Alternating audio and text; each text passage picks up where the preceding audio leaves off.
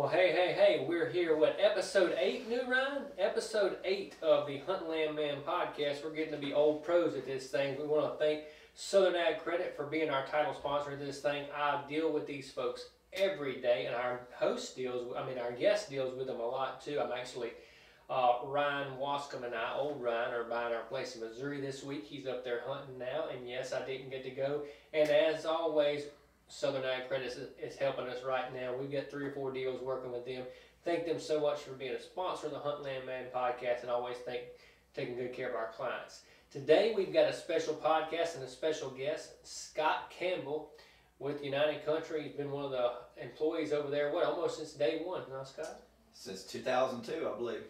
So that was the year I graduated high school, if I want to date myself a little bit. But uh, Scott is um, you know, he's one of our top realtors year in, year out. I think he was the first employee at United Country, and it was Gibson Realty then, then now Southern States Realty. And Scott, you know, is exceptional, extremely uh, professional at what he does. And what we're going to talk about and what the title of today's episode is, is how to choose your realtor.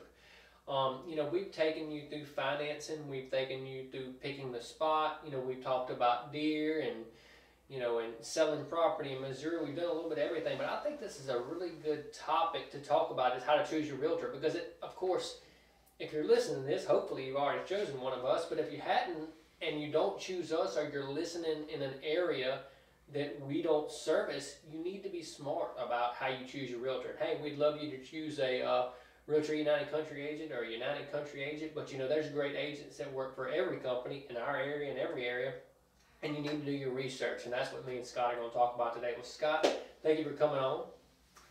Thanks, Slade. I really appreciate you having me tonight.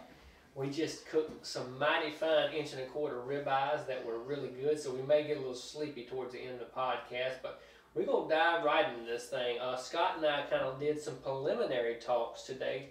Uh, Scott lives in McComb, uh, does a lot of housing, uh, lots, commercial, uh, small residence, and he does a lot of land like, like I do too. So he's got he's got a hold of a little bit of everything. As you know, I don't hardly do any any houses, Scott. In fact, if I get I got a piece of commercial ground last year, and I immediately said I told the the client I said I'd be doing you a disservice if I listed it, so I, I referred it over to Scott, and he's taking good care of that client.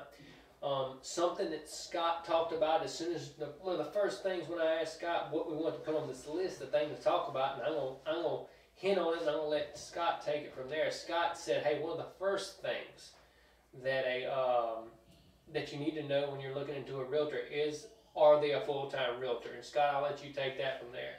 Yeah, absolutely, Slade. You know, a lot of people don't realize that. Uh, there are a lot of part-time real estate agents out there, and um, not not to say anything bad about those folks, but it, when you're looking for a realtor, I really, really think that you should look for someone that's 100% involved in what they're doing.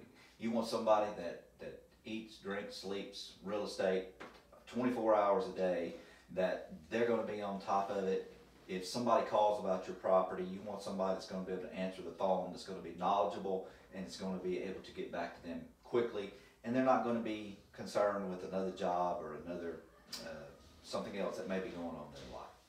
And I couldn't agree more with what Scott has to say. You know, uh, I, I, use this all the time. Is when I wake up in the morning, uh, you can watch me on my Instagram. If I'm not turkey hunting, the first thing I'm waking up and doing in the morning is I'm talking about thinking about living, breathing, just like Scott said, selling real estate. And if nothing against a part-time realtor, it's you know we kind of have a low barrier for entry into the real estate business. And what I mean by that is you go, anybody can go take take the class, take the test, and you become a realtor.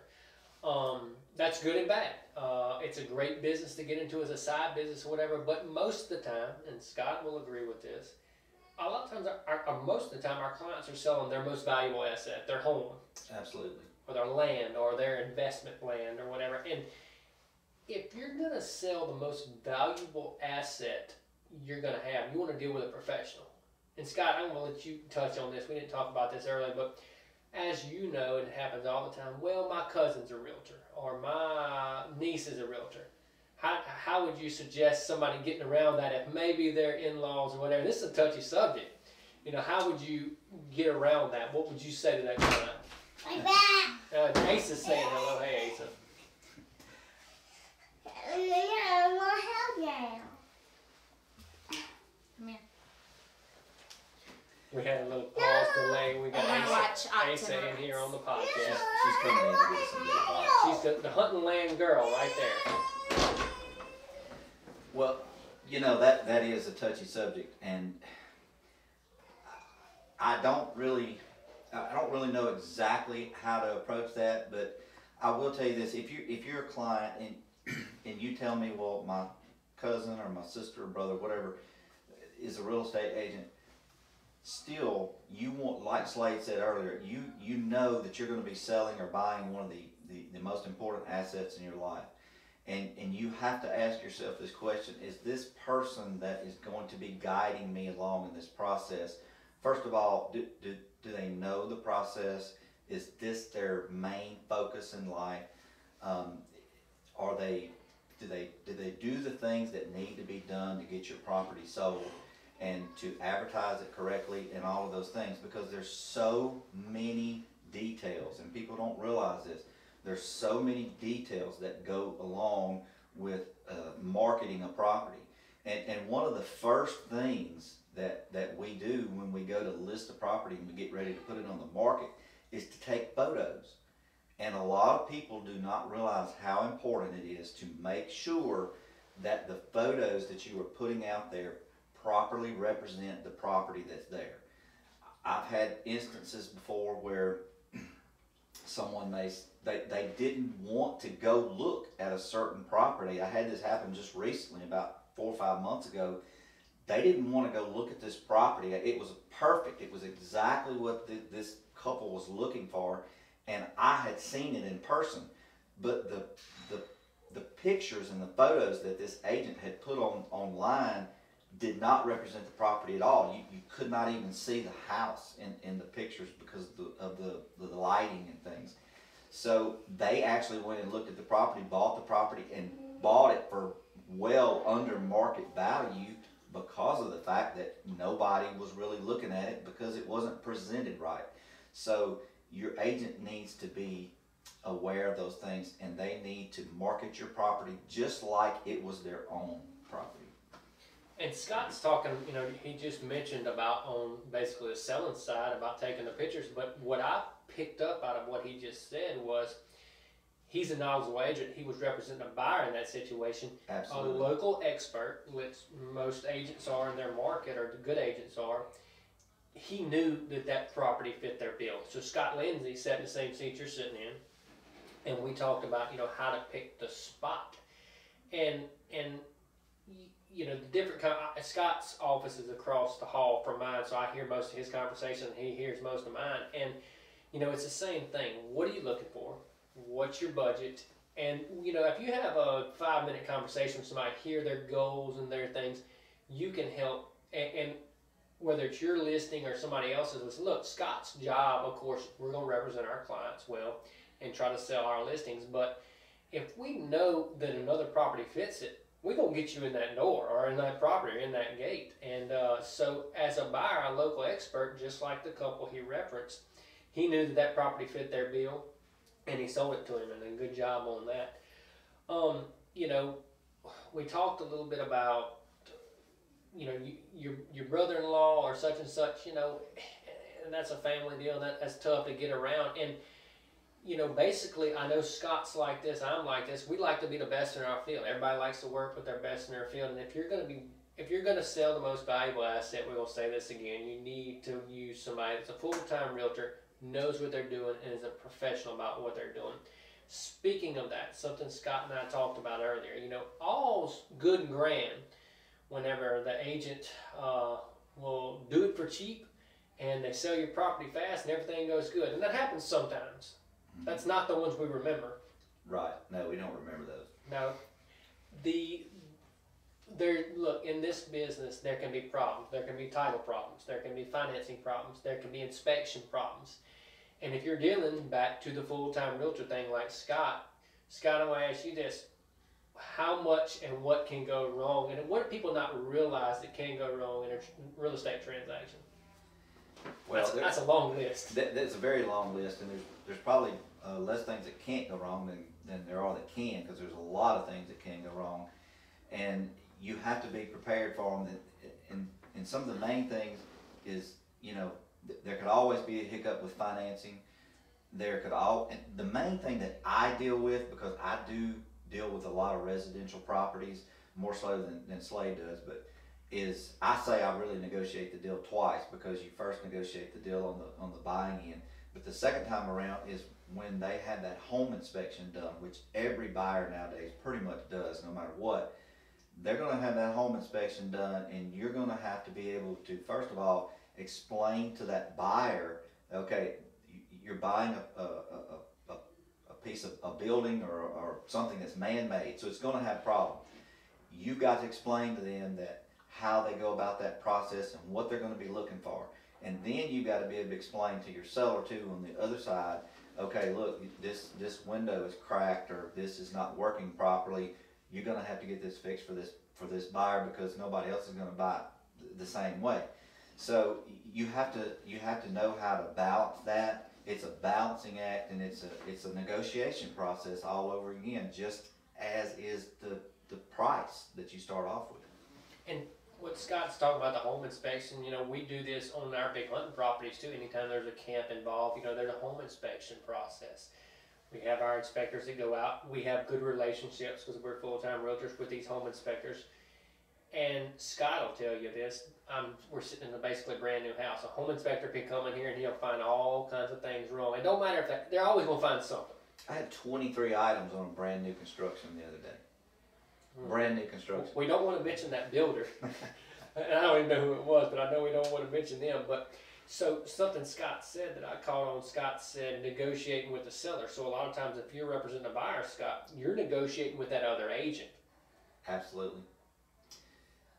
And, and that's the other thing. You, you never know. You may be, if you're in a situation where you're just representing one side of the deal, you're negotiating with the other agent. So that, that, you- have to be professional. You have to get all the, the documentation and everything to that agent on what the problem may be. And, and it doesn't have to be just on the inspection side. A lot of, a lot of times you have property boundary disputes. You have to know how to get that situated. There was an instance not too long ago where we had to um, negotiate an easement for someone that, that uh, had a landlocked property they were trying to sell. Um, it- there's just so many things out there that are involved. There's so many moving parts. Financing. If, if you don't send your buyer to the right person to loan them the money, you you may not get the deal closed. Uh, you got to know which ones can get the job done especially in this market. and which ones can get it done quickly and efficiently. And so you need to send them to the right place. And I tell my sellers a lot of times, you know, if if a, if someone is approved, the the buyer is approved, who they are approved with, because of, of me knowing each each one, makes a big difference. And so, what Scott's talking about about things that can go wrong, you know, so let's say tomorrow you come in, you're buying a piece of land from me or a house from Scott or commercial, whatever. We're going to be happy you write that contract. And so, doing and dealing with a professional, and Scott and I are not the only two options out there. There's great agents that work in every market.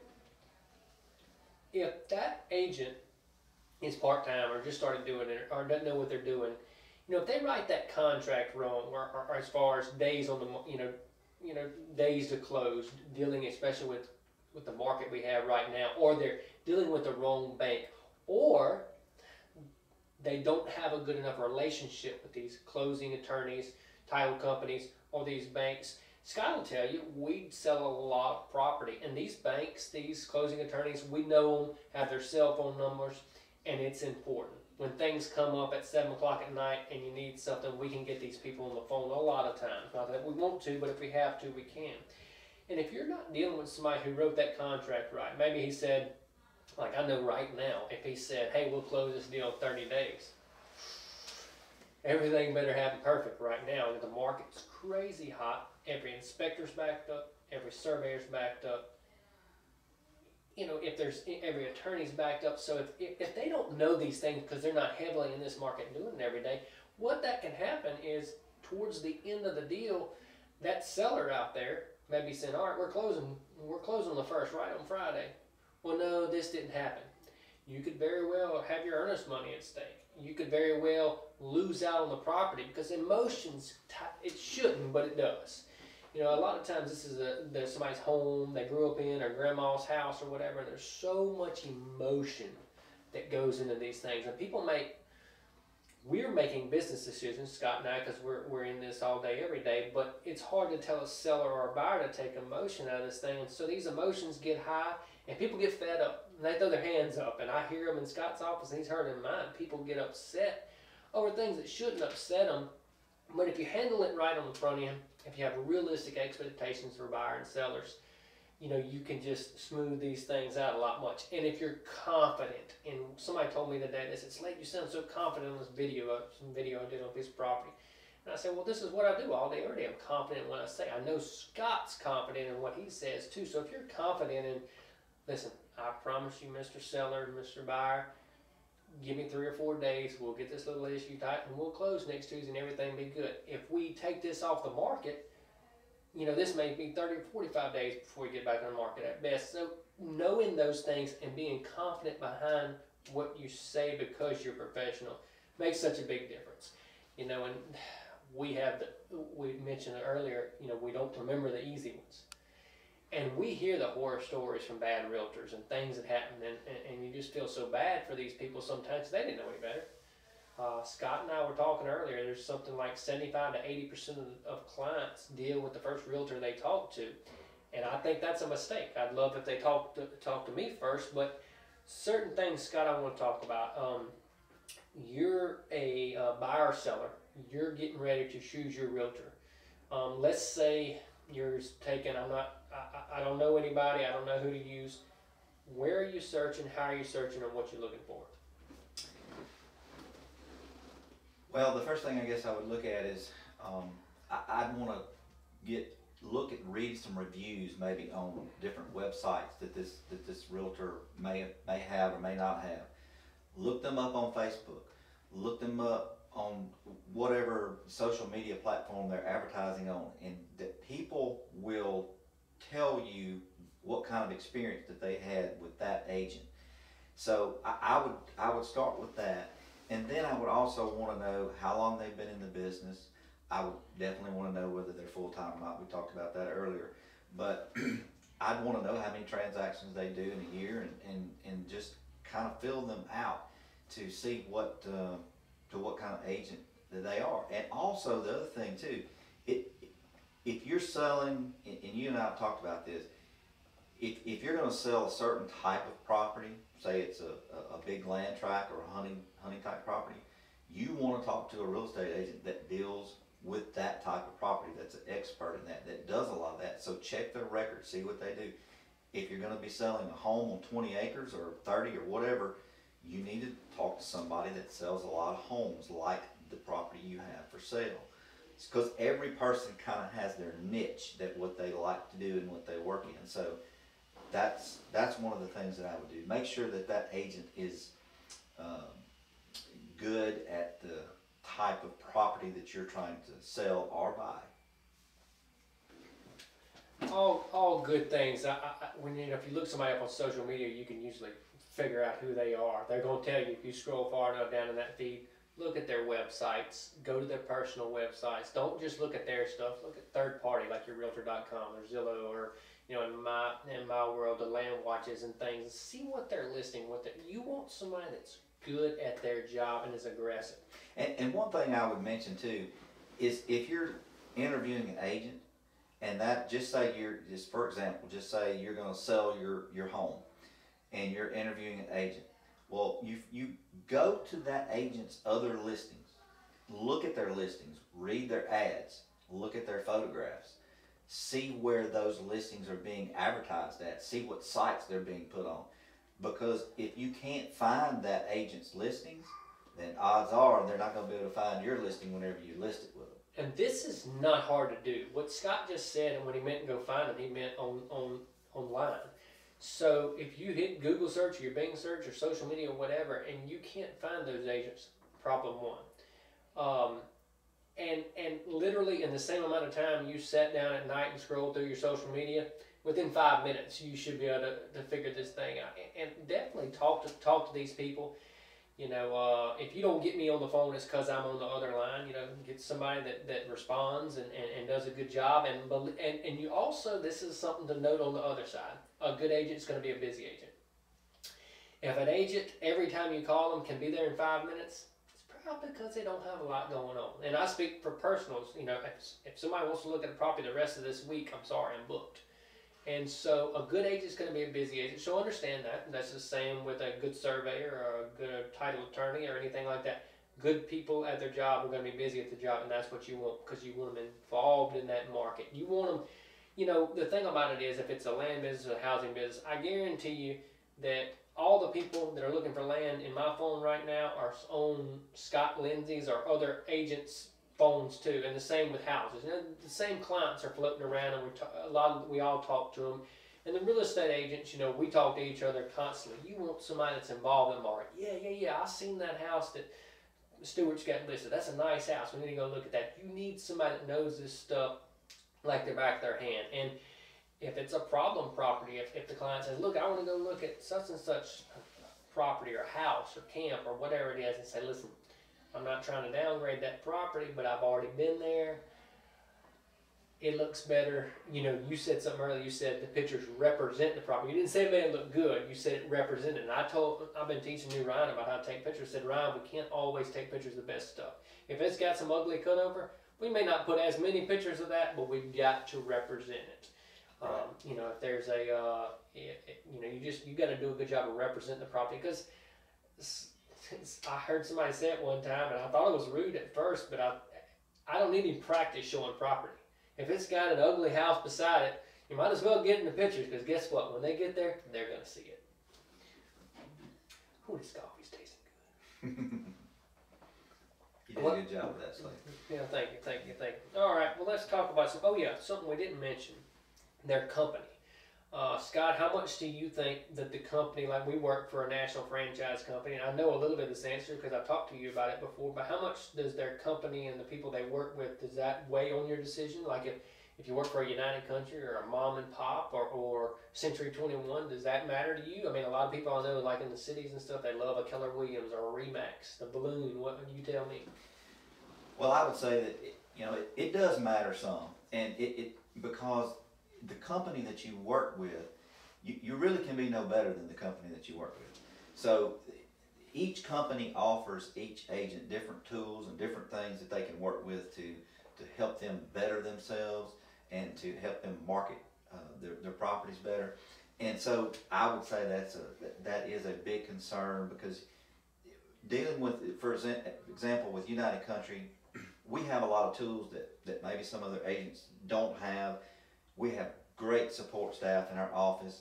We spend a lot of money every month on advertising that maybe some other agents or don't, their offices don't spend as much. So, yes, that is a big part of it. But then on the other hand, also, it in some situations, if you you may have a go-getter agent that that spends a lot of their own money, that does a lot of stuff and a lot of advertising behind the scenes that, that you don't know about.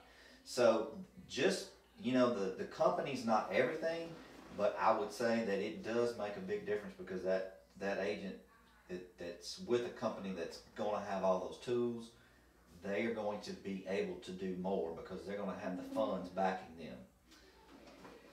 Well, Scott, I'll ask you this, and we'll, we'll we're just going to touch on this because we'll do a whole podcast on it at another time. Um, people do this all the time, and, and, and, and Scott's in this space, and I don't know if he ever thought about that, but I know Scott gets aggravated if somebody else gets a listing he should have, and then New Ryan will tell you I get frustrated, and it's because we believe we're our client's best option.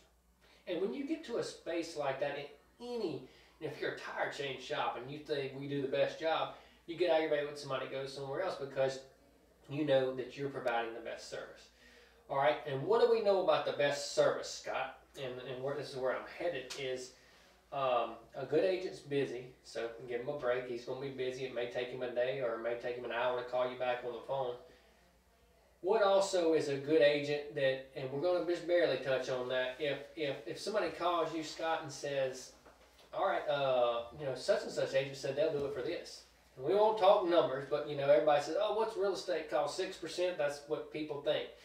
Uh, just give me a little bit on that. Just give me a little bit on on you know, good agents. Good agents are good agents aren't cheap. Is guess where I'm going with this.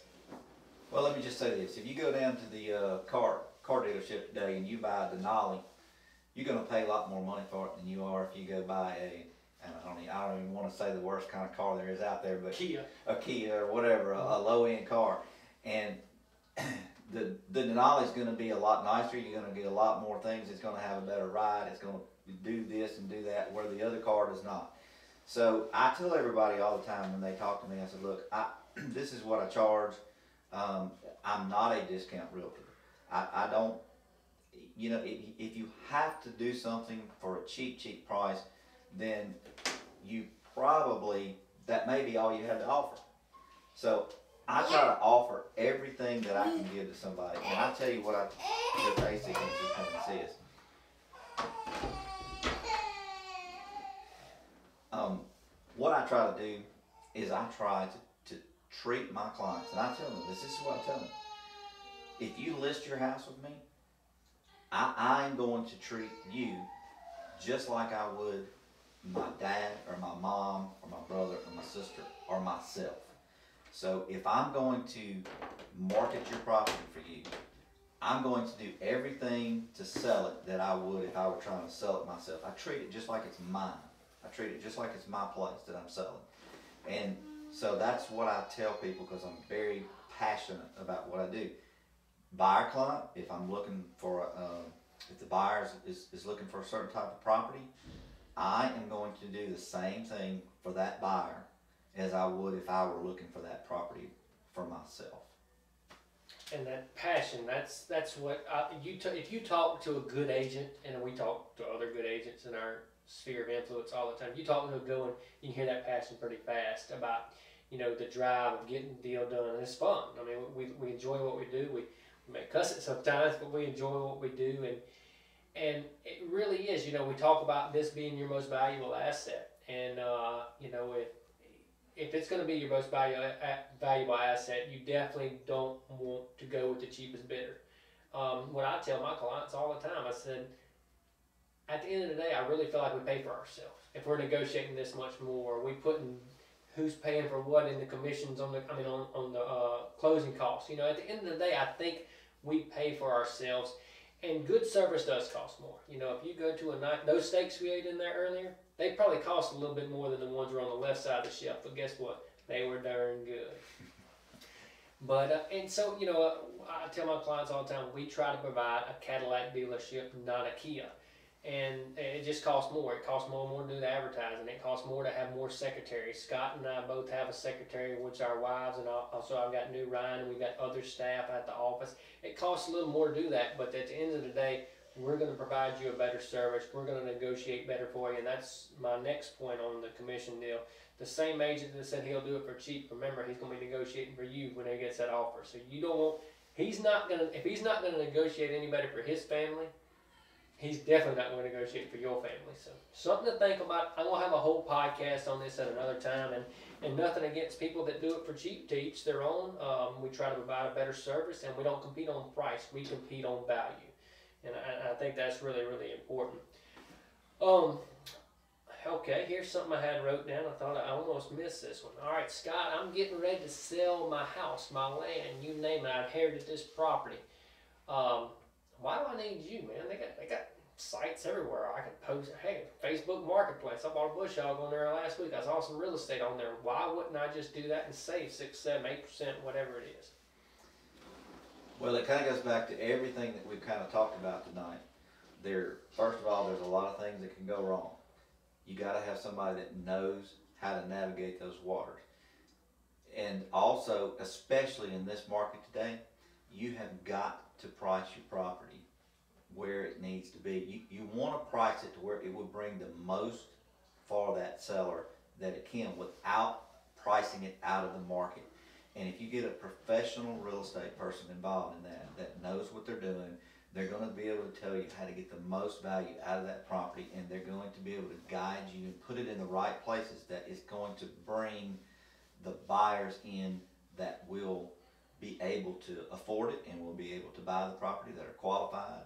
There's just, there, there's hundreds of things that go on in a property transaction that you don't realize. It's not just easy.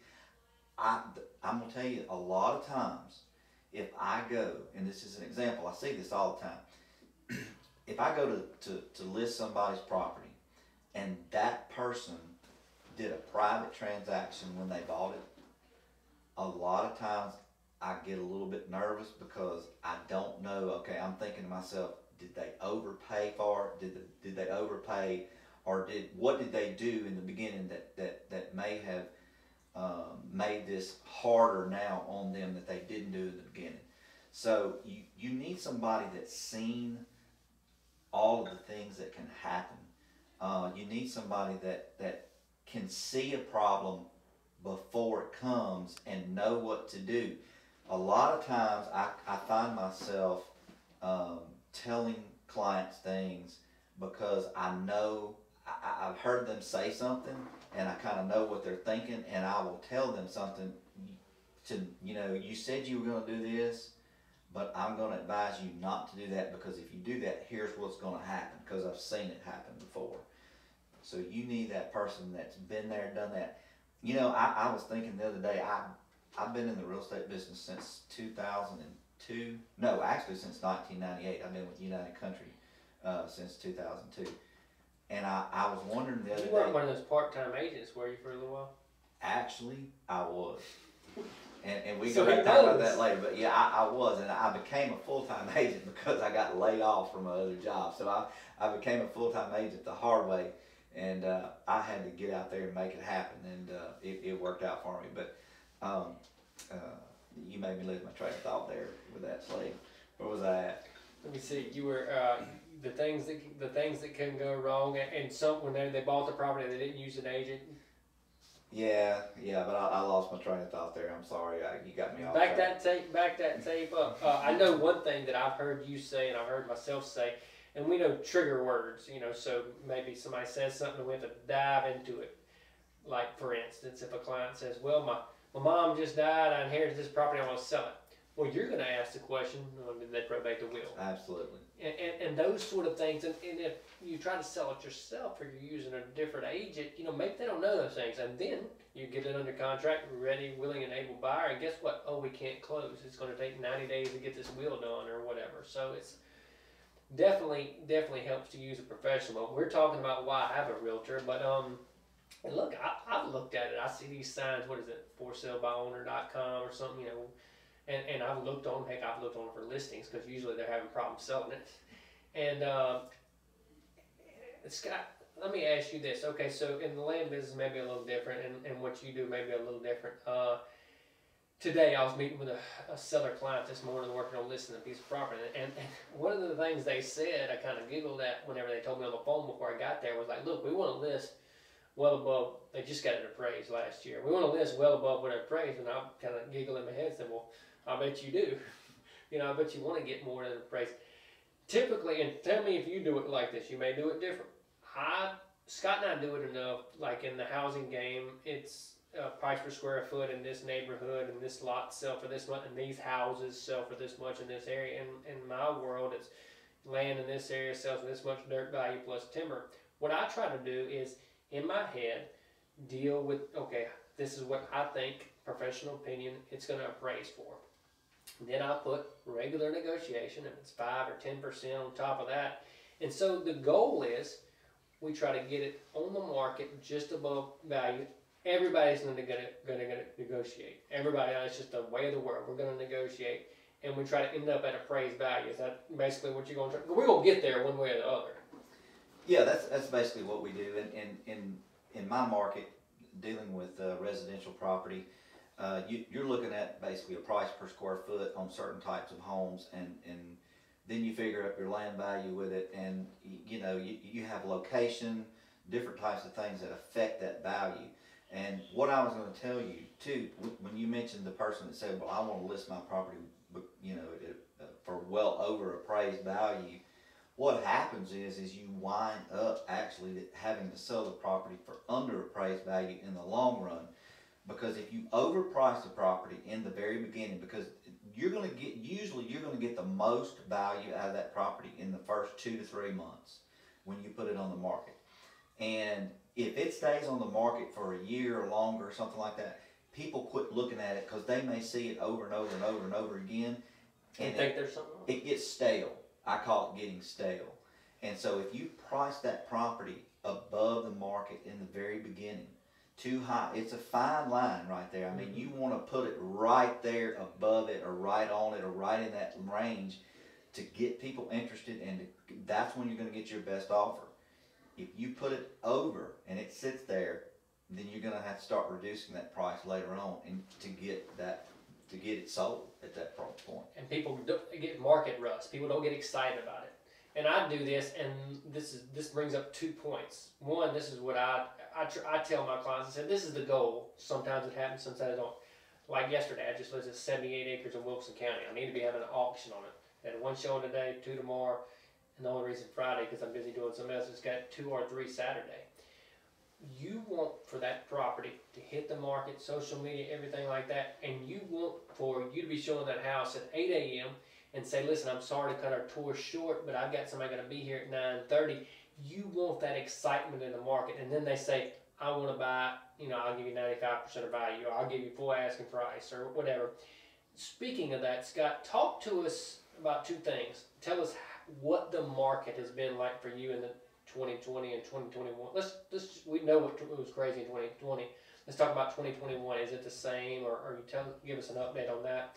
And then after that, I want you to go into being that the market's so hot. Do you have any tips on people getting their offers accepted? You know, because a lot of times there's some multiple offer situations going on right now. What do you have any tips that's worked for you lately?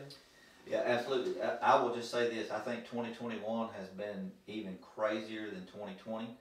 Um, it seems like the, the there's a very uh, low amount of properties. The, the, the supply is not very high right now as, as far as properties on the market. So you're dealing with high uh, a high demand of buyers and a low uh, supply of property to sell. So a lot of people, and, and I had a, good example of this today. Um, guy saw a property that I had put on the market. He he uh, he had lost two other properties prior to that. Uh, one was he just didn't offer enough money for it. The other one, I think he, he had some issues with his agent getting the offer in in a timely manner. And so he called me. He saw the property hit the market. He saw called me, went and looked at it, and he made an offer. And he made an offer actually above the asking price. Uh, not a, not not way above it, but above the asking price. So in this market, and it's not always been like this, but in this market, you have to come out and make a good, strong offer, especially if it is a hot property and it's something that a lot of people are wanting. And your agent should be able to tell you that and, and be truthful. And a lot of times, if, a, if an agent says, Look, I've got uh, two people looking at this property today, or three people looking at this property today, they think that's some kind of of a marketing or sales technique and that we're trying to be to pressure them and we're really not not in this market right now. And so um, the guy made the offer. You got th- that's that's that's the first thing. The second thing is is try to make your offer with without a lot of contingencies. Make it as clean as possible. Now that's not always possible to make it real clean but if you can make that offer with uh, without a lot of things the seller has to do and make that make it feasible to that seller, that seller's going to more likely work with you, even if your offer is a little less than what somebody might offer before. If if yours is maybe a quicker closing date, or maybe you're not asking them to do something that the other the other buyer may be asking them to do, they may go with you over that buyer for that reason. The third thing is is to make sure that your agent gets that offer into that seller as quickly as possible. And I, I would say that's almost one of the most important things because in a market like this, if you don't get your offer in quickly, by the time you get it in, they may have already accepted another one, even though yours was better. So you got to get it in quick. It needs to be, it needs to be within a couple of hours. If that, if you tell an agent I want to make an offer today, they need to get it in within a few hours. And, and that goes back to the full-time realtor, somebody who's aggressive, somebody who's good at their job, is they know time is of the essence, and they can, if you chose the right agent, they'll be truthful to you and, and things like that. And, and something to think about when you're making an offer. You know, some people get frustrated. You ever had that happen? Like people say, "Oh, it's just too much, too many offers, too fast, or whatever." There's two ways to look at that. Yes, it can be a little frustrating. Trust your agent in that standpoint because they do this all day, every day as a professional. And also, if there's a lot of people interested in property, guess what? That means you're looking at a good property. Nothing wrong with that. No, nothing wrong with a lot of people. And something I tell my clients, let's say they said, Slade, I want this property. Let's say tomorrow when I was showing at 78 acres, they said, I want this property. Slade, what do I need to do to get it? Typically, in a normal market, I'd say, all right, make a good, strong offer, not a lot of contingencies, and let's get this thing closed.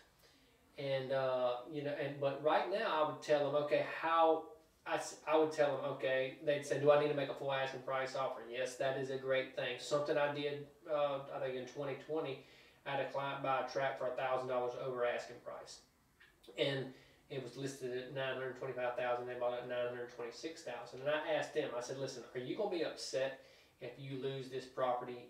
We knew another offer was coming in.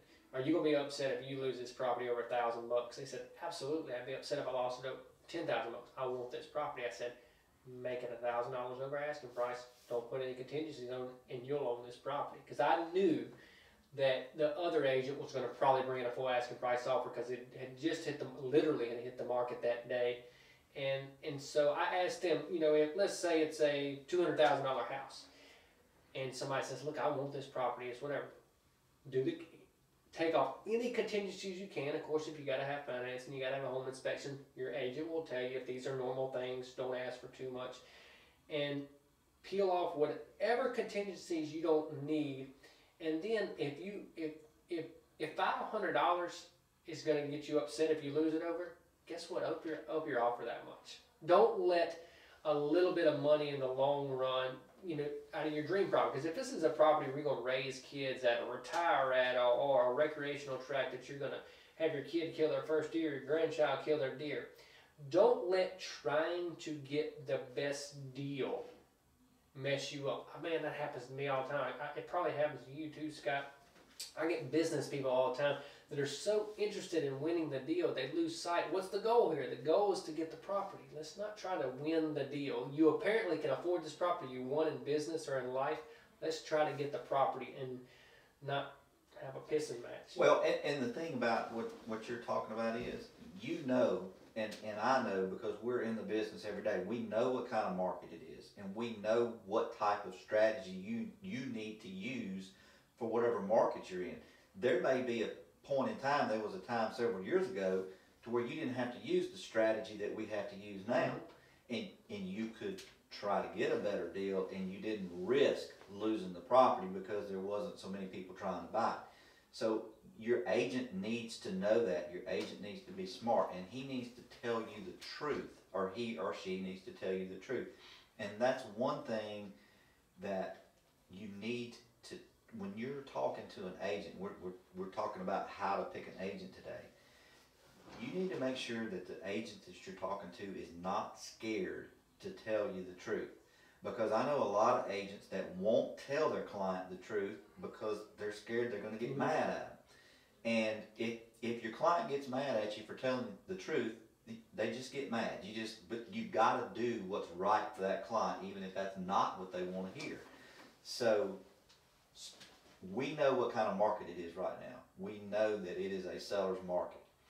So we have to educate our buyers knowing that and they are going to have to take a different approach just like you're talking about the things that you're talking about doing that you may not have had to do two or three years Mhm. ago.